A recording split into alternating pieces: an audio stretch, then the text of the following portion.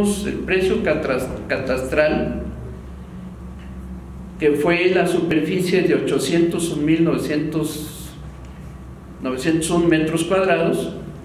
El valor de catastro es de 65.94 y el valor comercial que sacó la Secretaría del catastro nuestro es de 156 pesos, 156.27.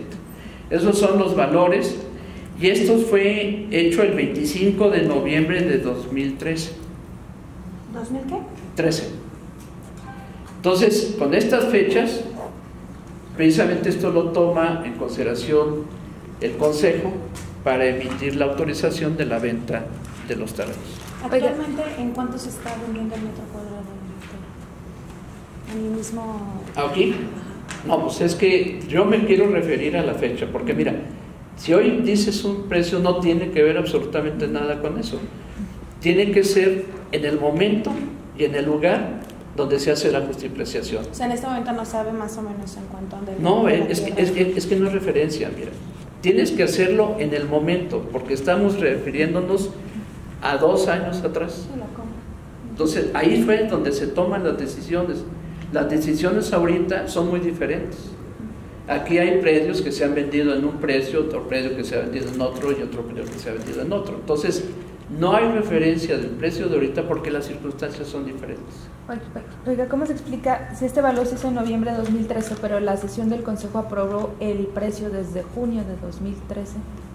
¿Qué valores tomaron en cuenta entonces? Mira, las justipreciaciones siempre, para poder determinar un valor, se tiene que tener el análisis de finanzas y ese, ese, tiene que haber un documento que sí tiene que servir de base para la definición de los precios. Entonces, se pueden en cierta forma definir algunos precios, pero tienen que venir precisamente corroborados por la parte de finanzas. Pero finanzas lo corrobora en noviembre y en la sesión de consejo que se aprobó ese precio fue en junio, el 5 de junio de 2013 o sea, hay unos meses, no corresponde. No, es, mira, la, parte de para poder certificar un precio y poderlo estampar en un documento tiene que estar certificado precisamente por la Secretaría de Finanzas. Y ese documento es el que sirve de base para poder hacer las escrituras correspondientes. Por eso, pero la fecha en la que ustedes definen el precio de 156, o sea, el Consejo, yo sé que usted no era presidente en ese momento, fue de junio y la justificación que da Finanzas fue en noviembre. O sea, hay una diferencia ahí. Pues ustedes dan el eh, precio eh, antes de que Finanzas lo... Eso si quieres lo, lo corroboramos, pero la parte en la que nosotros tenemos para poder hacer la escritura tiene que estar en base a este documento. Y este documento está aquí, las bases, las firmas y todo lo que tiene que hacerse para poderlo estampar en una, en una, en una este, escritura. Oiga, tengo otra duda. Ayer usted me había comentado que como ese terreno quedó ahogado, habían pensado pues eh, buscar algunas empresas para que tuvieran o que se instalaran ahí.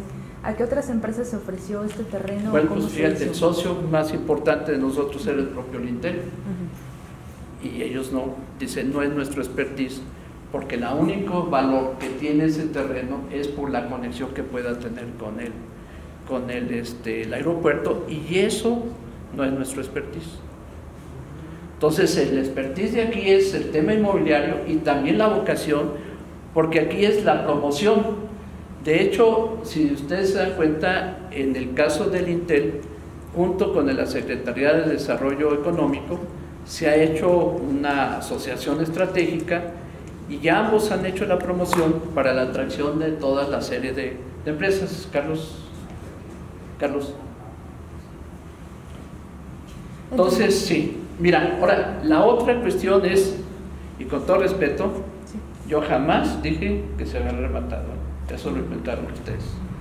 Entonces, para que quede perfectamente claro que yo jamás les di a ustedes esa situación. Ustedes, fue una interpretación de ustedes. Por eso, si yo quiero precisamente insistir a todos ustedes para aclarar esa situación, esto no fue ningún remate.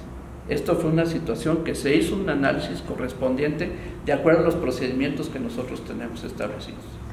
Y ese fue el valor, por eso te quiero aclarar, los valores se determinan en su momento, por eso existen estos documentos de respaldo todas las ventas que tiene Puerto Interior están respaldadas por justipreciaciones. ¿Y hay un, y hay un periodo eh, en el que ya no sea ese valor, o sea, sería anual? Por el tema de. O, o cuánto dura. Acuérdate, acuérdate que son oferta y demanda. Ujú. Cada, cada, cada, este, mira, en, este- en esto se hizo una serie de fideicomisos. Ujú. Y aquí se determina el precio en función del cliente, del proyecto. Y normalmente, antes de cualquier cosa, Puerto Interior toma en cuenta el proyecto.